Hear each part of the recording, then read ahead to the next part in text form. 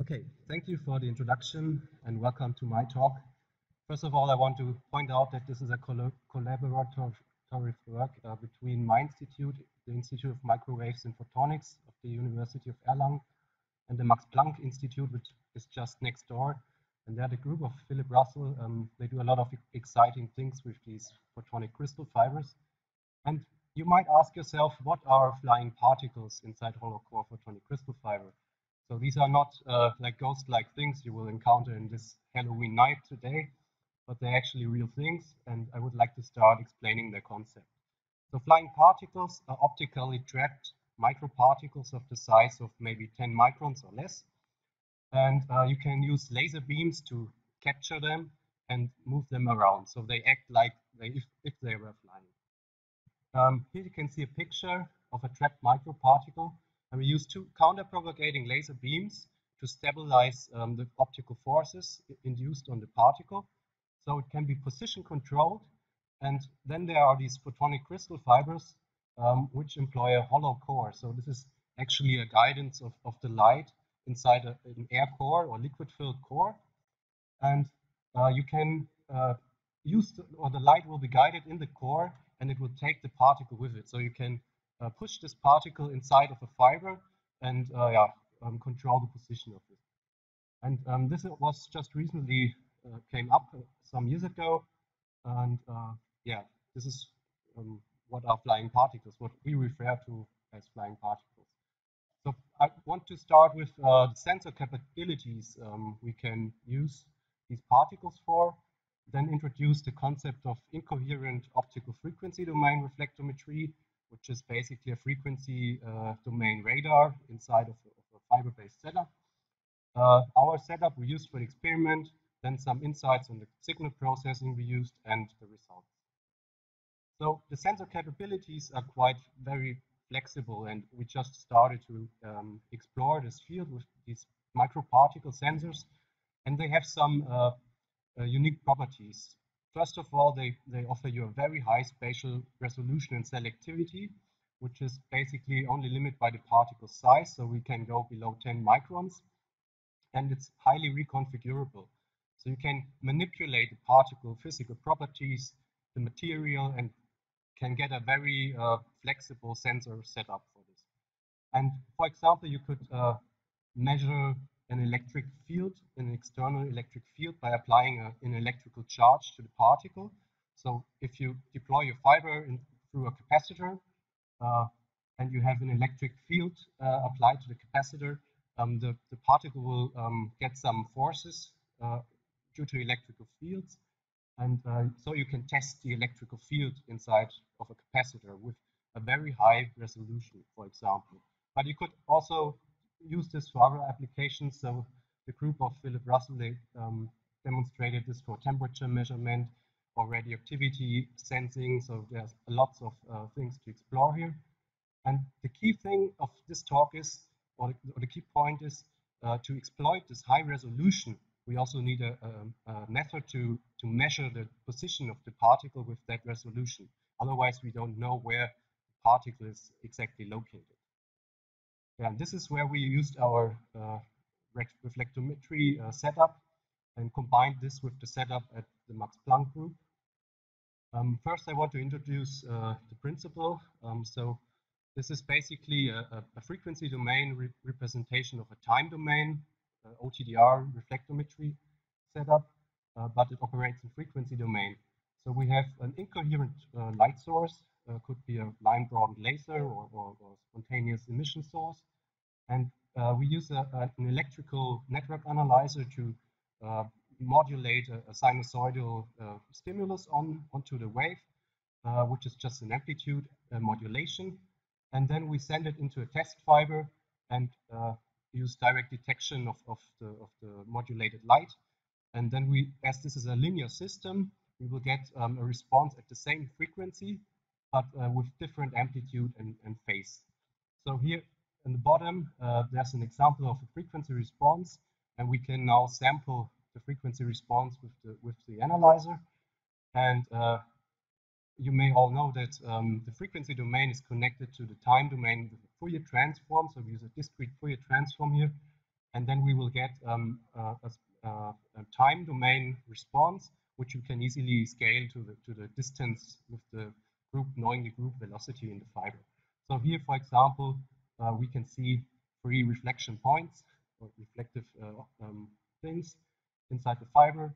And uh, actually, the, the, the, classical way to define the spatial resolution is, is the width of these pulses, which is determined by the finite bandwidth of, of the uh, network analyzer. So here's, here's the uh, connection. Um, so by increasing the bandwidth, we can go down to quite low resolutions. Um, but we can go even further if we if we have just a single pulse with no uh, nearby pulses, then we can uh, um, detect the centroid of this pulse with much more resolution than this uh, formula gives us. So uh, some advantages of this technique is that it's an incoherent principle of simple direct detection, and we have a low peak to average uh, power ratio, so we use just continuous wave light, uh, and it gives us very accurate calibration capabilities so you, you all know RF engineers use uh, network analyzers for their most precision measurements, and we can uh, calibrate the non-idealities in the setup. And it also gives us some efficient advanced signal processing techniques we can use. I will come to that later. So here's the complete setup uh, we used for the experiments. The upper part is this, uh, oh, sorry.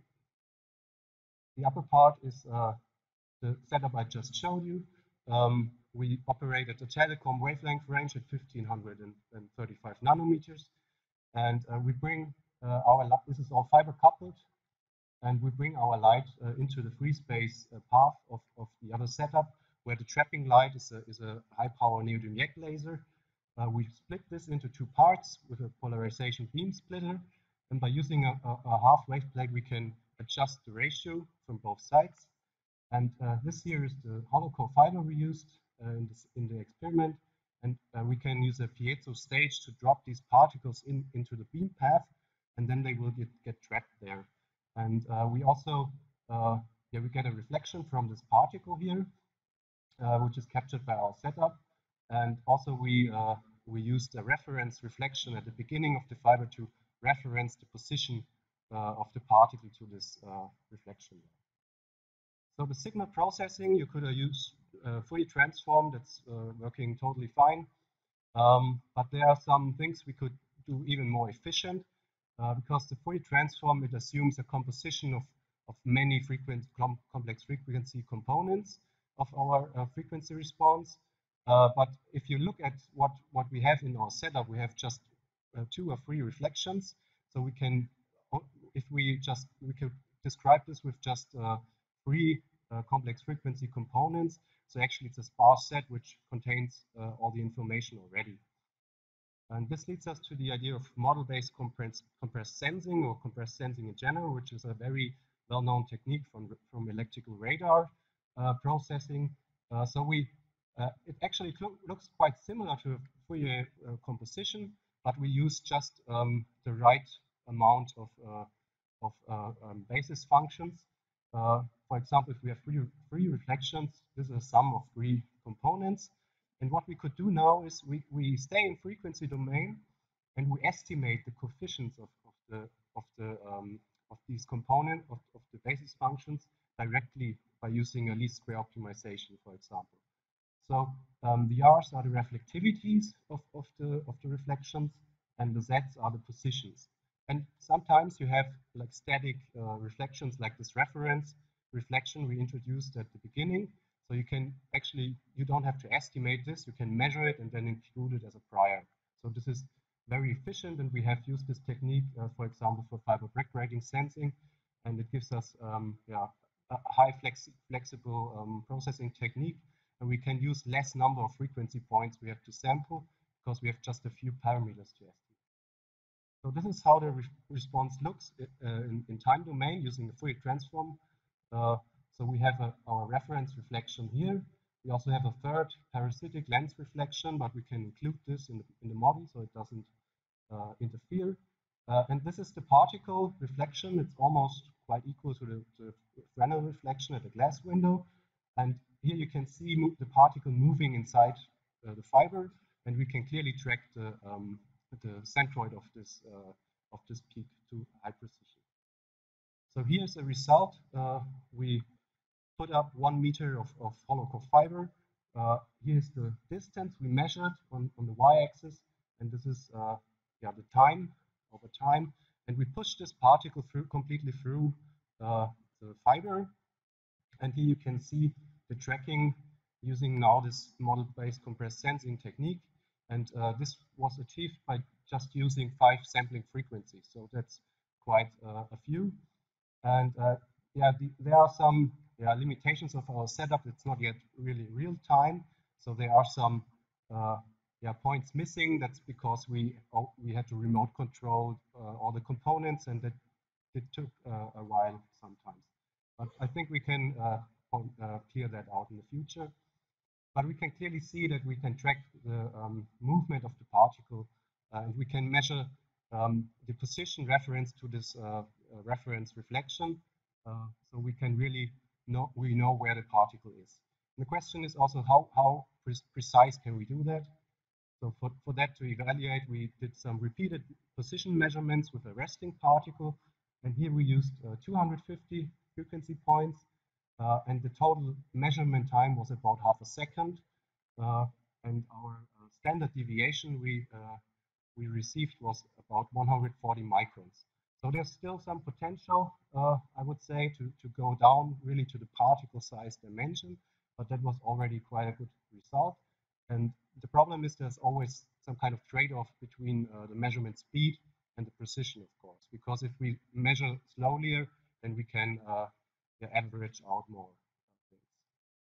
So as a conclusion, um, these flying particles uh, define actually a quite new class of uh, micro-optical fiber sensors with very high spatial granularity and uh, they are highly reconfigurable. So you can use them for many different applications we just didn't explore yet. Uh, yeah, we use this incoherent OFDR technique uh, to uh, measure the position of, of this particle inside of, of uh, a hollow core. And we could use some efficient signal processing directly in the frequency domain to determine the position. And we uh, reached measurement speeds of about two, two hertz, so half a second, with a precision of 140 microns. as an outlook, we would like to expand the capabilities of the system for real-time position measurement because this will um, enable us to apply feedback uh, to the system.